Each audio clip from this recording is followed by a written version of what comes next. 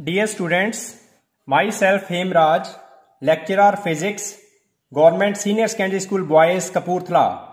Today we will discuss physics experiment of class plus 1 section 2 and the aim of experiment is to study the relation between the length of a given wire and tension for constant frequency using sonometer. Theory We know that fundamental frequency produced in a stressed string is given by nu is equal to 1 by 2L T by M under root. M कैसे find करना है M is mass per unit length of the string तो mass 5.5 ग्राम है wire का और इसकी length है 176 centimetre. ये मैं अभी दिखाता हूँ आपको एक्सपेरिमेंट में जो यूज़ किया है। तो स्मॉल एम यानी कि मास पर यूनिट लेंथ की वैल्यू आ गई 3.125 gram per metre. T is tension in the string and L is length of vibrating part of the string तो देखिए, अगर इस फॉर्मूले में न्यू और एम को कांस्टेंट रख दें then under root T divided by L it is constant under root to T directly proportional to L और L directly proportional to under root T और L square directly proportional to T इसका मतलब graph between L square and T should be a straight line चलिए पहले देखते हैं कि हमारा जो एक्सपेरिमेंट है, उसका डिवाइस किस तरह का हमने यूज़ करना है। देखिए दिस इज़ सोनोमीटर ये एक मीटर से भी लंबा है और ये देखिए, हमने वेट ये हमारे पास वेट्स हैं। हाफ़ के जी के वेट्स हैं। वन टू थ्री फोर ये भी हाफ़ के जी के हैं. फाइव सिक्स और ये देखिए, ये हैंगर है. ये हैंगर खुद आधा किलोग्राम का है और इस पर हमने हाफ़ के जी डाला हुआ है. और जब इसको वायर के साथ हम बाँध के रखते हैं तो वायर कम्स अंडर टेंशन इस वायर में टेंशन है और इस, ये दो नाइफ एजेस हैं. नाइफ एजेस बड़े तीखे एजेस हैं. इसके ऊपर हमने वायर को टिकाया हुआ है. और ये, देखिए, एक ये ध्यान से देखना, ये एक छोटा सा कागज़ का टुकड़ा है। ये अभी आपको क्लियर हो जाएगा। ये ये कागज़ का टुकड़ा है जी छोटा सा। इसको हम राइडर कहते हैं, राइडर।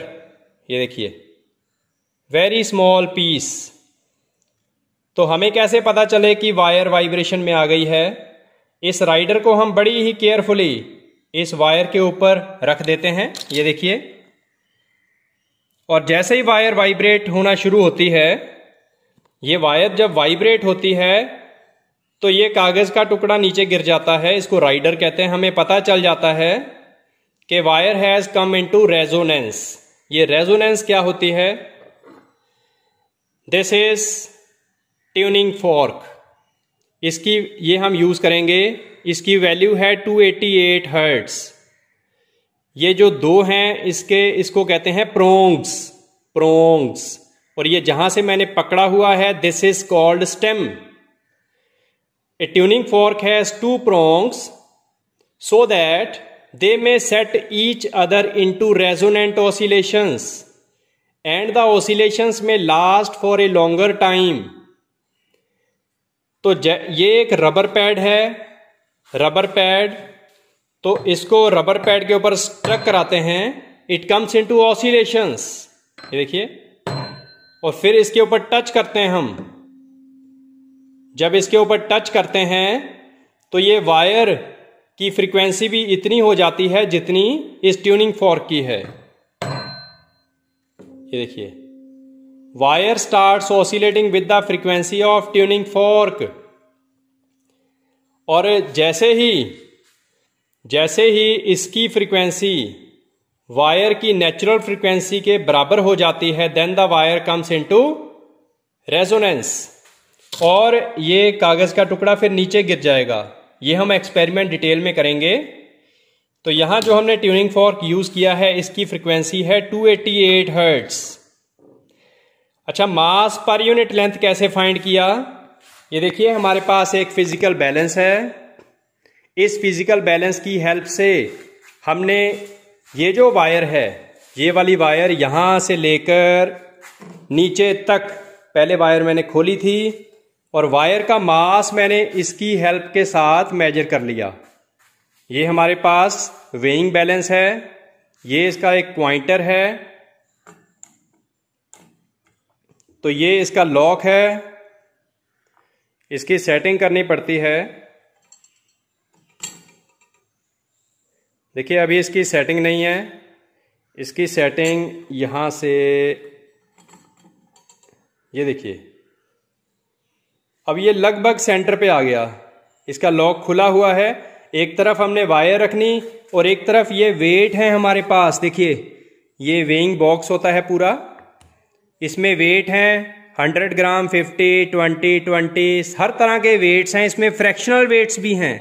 इसकी हेल्प से आप वायर की वायर का मास फाइंड कर सकते हो। और जब हमने मास फाइंड किया, वो 5.5 ग्राम आया और उसकी लेंथ 176 सेंटीमीटर आई और ऐसे हमने मास पर यूनिट लेंथ फाइंड कर लिया। इस तरह से, ये देखिए मास over length 3.125 gram per metre आई। चलिए, इसके बाद हमारा जो काम रह गया, ये टेबल पूरा करने का काम रह गया। ये देखिए, ये जो टेबल है, सीरियल नंबर, दूसरा है लोड। हमने वायर में कितना लोड दिया है? वन किलोग्राम से स्टार्ट कर लेंगे आधा आधा किलोग्राम बढ़ाते जाएँगे। और साढ़े तीन किलोग्राम तक लोड हम वायर में देंगे। टेंशन होती है force on the wire. M G तो एम इंटू जी इसको जी से मल्टीप्लाई करके ये आ जाएगा। टेंशन टी न्यूटन में आएगी। उसके बाद रेजोनेंट लेंथ कैसे फाइंड करनी है, ये हम अभी करते हैं। यही तो एक्सपेरिमेंट कर रहा है हमने। ये पूरा टेबल कंप्लीट करके फिर हमने ग्राफ ड्रा करना है एल स्केयर और टी में। ये टी है टेंशन टी और ये एल स्केयर इनके बीच में हमने ग्राफ ड्रा करना है ये दो कॉलम्स के बीच में। चलिए, ये एक्सपेरिमेंट परफॉर्म कैसे करना है? तो देखिए स्टूडेंट्स ये हमने सेटिंग कर दी है। ये पेपर राइडर ऊपर रखा हुआ है। ये दो नाइफ एजेस हैं। हमने इस पोर्शन की वाइब्रेशन देखनी है, इतनी वायर की। ये मेरे पास ट्यूनिंग फॉर्क है, ये रबर पैड है, इसके साथ मैं इस तरह स्ट्रक करवाऊँगा, ऐसे, और फिर टच करूँगा। देखिए, पेपर का पीस अभी गिरा नहीं है।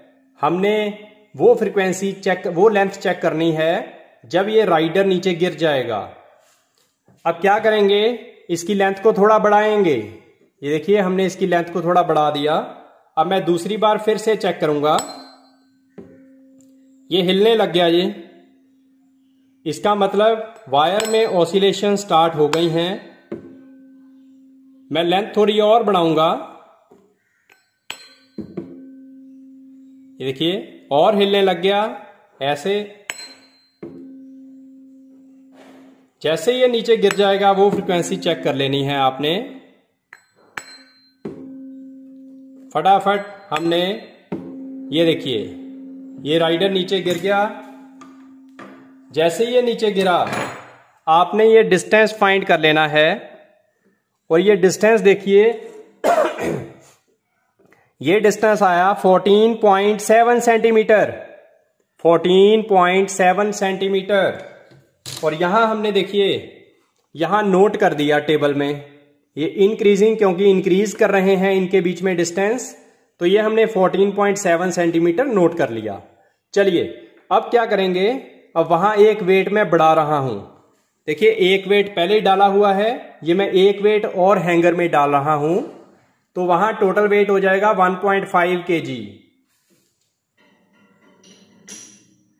चलिए स्टूडेंट्स मैंने वेट डाल दिया है। अब फिर से चेक करेंगे। पहले राइडर को ये चिमटी है, इसकी हेल्प से रखेंगे क्योंकि हाथ, हाथों से वो नहीं रखा जाएगा। ये देखिए। अब चेक करते हैं इसके साथ। देखिए, ये नहीं गिरेगा अभी। अब हमें इसके बीच में डिस्टेंस और बढ़ाना पड़ेगा। देखिए, मैंने डिस्टेंस थोड़ा बढ़ाकर डिस्टेंस थोड़ा सा ही बढ़ाना है, एकदम नहीं बढ़ा देना, बस थोड़ा थोड़ा देखिए, हिलना शुरू हो गया। ये हिलना शुरू हो गया है। इसका मतलब रेजोनेंस आने वाली है। ये देखिए, नीचे गिर गया जी। और जैसे ही नीचे गिरा, हमने ये लेंथ मेजर कर लेनी है। ये लेंथ देखिए 16 सेंटीमीटर 16 सेंटीमीटर लेंथ आई। ये हमने 16 सेंटीमीटर नोट कर ली है। चलिए, इसके बाद फिर से मैं राइडर को ऊपर रखूँगा। और तीसरी रीडिंग लेने के लिए क्या करेंगे? एक और वेट। देखिए, एक और वेट मैं हैंगर में डाल दूँगा। अब टोटल वेट हो गया टू के जी अब फिर से चेक करेंगे। मैं इसके बीच में लेंथ और बढ़ाऊँगा।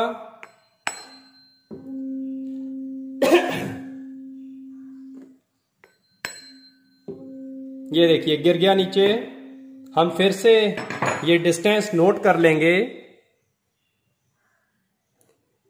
ये डिस्टेंस आया 16.7 सेंटीमीटर और वहाँ हमने नोट कर लेना है टेबल में।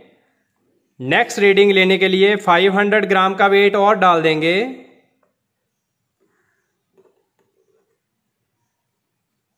इस तरह आपने रीडिंग लेते रहना है लगातार। और इसको बड़े ध्यान से रखना है। देखिए, जब 2.5 केजी हम रख देंगे तो 18.7 आई। जब 3 केजी रखेंगे तो ये लेंथ बढ़ती जाएगी, देखना 20.0 जब साढ़े तीन के जी रख देंगे उसमें हैंगर में तो 21 सेंटीमीटर लेंथ आई। उसके बाद आप, चलिए लास्ट वाली एक कर लेते हैं। साढ़े तीन किलोग्राम रखते हैं, ठीक है? मैं अब दो किलोग्राम तो पहले ही है। ये तीन और डालेंगे, देखिए। दो ये हो गए और एक ये वाला। मैं तीनों हैंगर में डाल दूँगा।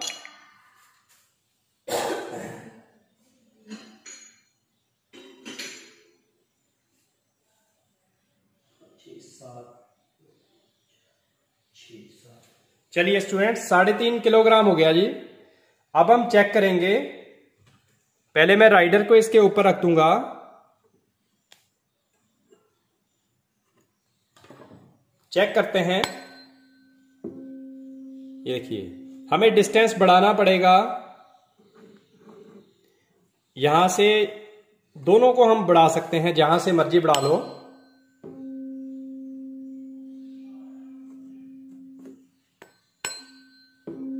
ये हिलने लग गया जी। इसका मतलब रेजोनेंस आने वाली है।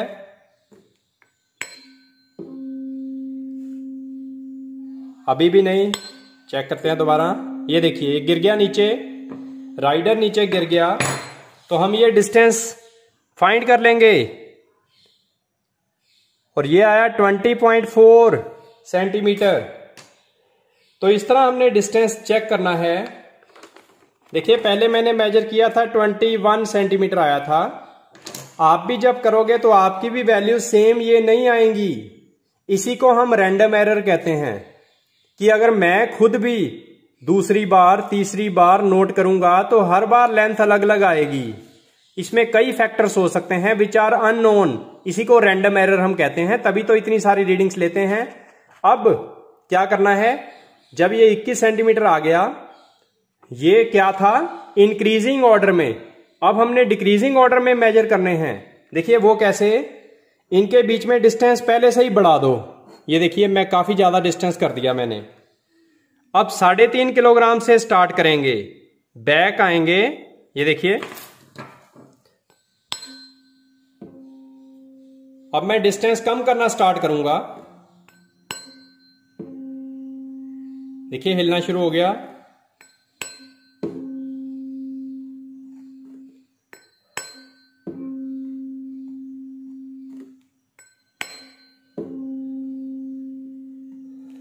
काफ़ी हिल रहा है।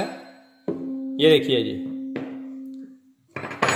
ये लेंथ हम नोट कर लेंगे वायर की। ये 22 सेंटीमीटर आई, ये 22 सेंटीमीटर। देखिए, पहले मैंने किया था 22.5 आई थी 22 सेंटीमीटर आई है। अब क्या करेंगे, एक वेट उठा लेंगे, साढ़े तीन का बजाय तीन डाल देंगे। अब मैं एक वेट निकाल रहा हूँ। चलिए, अब थ्री के जी रह गया। अब इसी तरह बैक आते जाना है। अब डिस्टेंस को कम करते जाएँगे।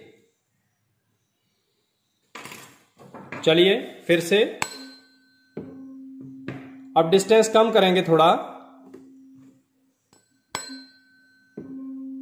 ये देखिए, ये हिलने लग गई और शायद गिर भी जाए। ये देखिए, वो गिर गई। हम इस लेंथ को नोट करेंगे। ये लेंथ आई 21.3 सेंटीमीटर। 21.3 सेंटीमीटर। चलिए, इसके बाद हमने एक वेट और निकाल देना है। ये 2.5 केजी रह गया। डिस्टेंस अब और कम होगा। इस तरह डिस्टेंस हमने कम करके नोट करना शुरू कर देना है। पहले राइडर भी रखना पड़ेगा।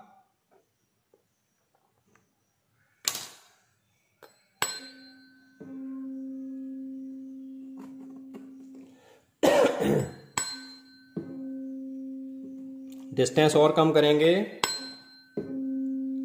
जब तक वो राइडर गिर नहीं जाता।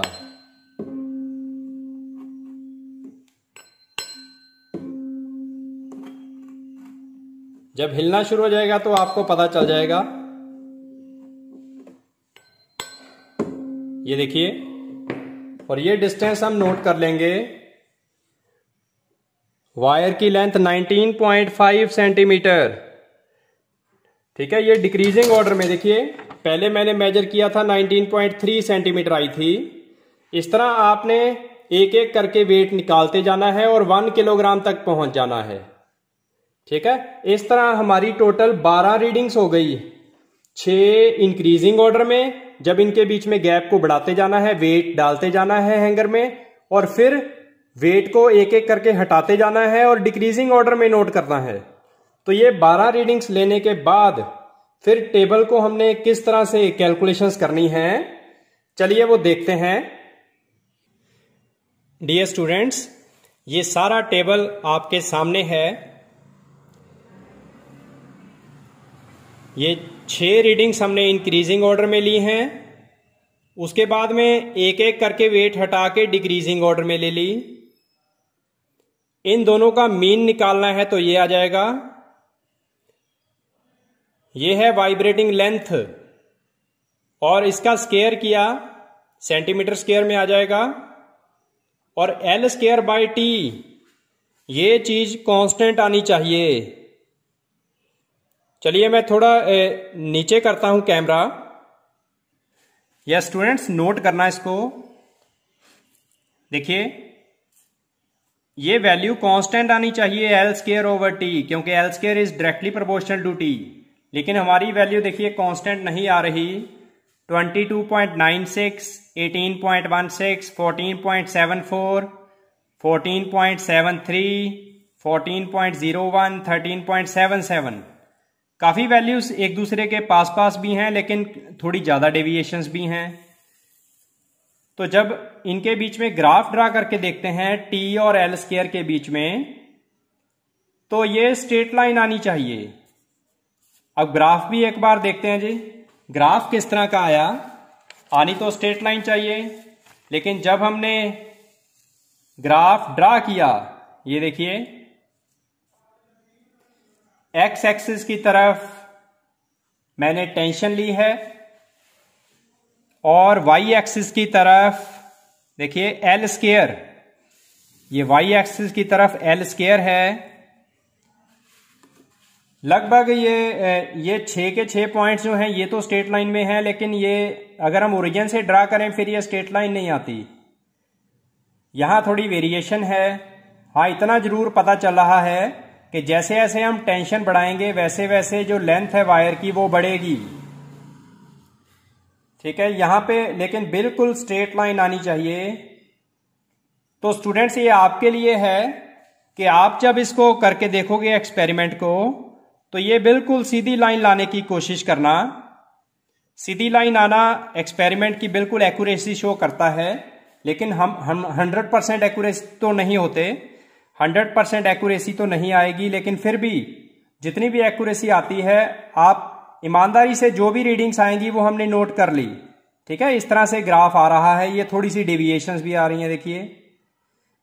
तो it should be a straight line और यहाँ से अगर हम स्लोप की वैल्यू निकालें, देखिए स्लोप की value average value of slope ये वाली, ये जो लास्ट कॉलम है एल स्केयर ओवर टी ये सभी की छ की छ वैल्यूज़ का जब एवरेज निकाला तो 16 आया 16 और अगर हम फार्मूले से यही एवरेज निकालें वैल्यू निकालें स्लोप देखिए फार्मूला होता है nu is equal to one by two L T by M under root दोनों तरह स्क्वेयरिंग करेंगे तो आ जाएगा nu square one by four L square T by M तो एल स्केयर बाई टी की वैल्यू आ गई one over four M nu square तो ये सारी वैल्यूज़ पुट कर दी मास पर यूनिट लेंथ की वैल्यू ये है न्यू 288 और ये मीटर स्केयर को सेंटीमीटर स्केयर में कन्वर्ट करने के लिए टेन एस पार फोर आ गया। और जब कैलकुलेट करके देखते हैं तो वैल्यू टेन आती है। देखिए फार्मूले से वैल्यू टेन आती है। और हमारी जो वैल्यू आ रही है वो सिक्सटीन आ रही है। टेबल से वैल्यू मैच नहीं कर रही। जब आप करके देख, देखोगे एक्सपेरिमेंट तो आप देखना कि फार्मूले से और वैसे स्लोप की वैल्यू ये दोनों मैच होनी चाहिए। जैसे ये 16 है 16 के नज़दीक आनी चाहिए वैल्यू तो स्टूडेंट्स यहाँ से हमारा ये प्रूव होता है कि जैसे जैसे हम ये टेंशन को बढ़ाते जाएँगे वैसे वैसे लेंथ बढ़ती जाएगी। तो यही हमारा एक्सपेरिमेंट था। To study the relation between the length of a given wire and tension for constant frequency using sonometer frequency हमने कांस्टेंट रखी 288 हर्ट्स और टेंशन को बढ़ाते गए लेंथ नोट करते गए। और फिर रिलेशन क्या आया? कि L square directly proportional to T तो यही हमारा एक्सपेरिमेंट था। चलिए स्टूडेंट्स ओके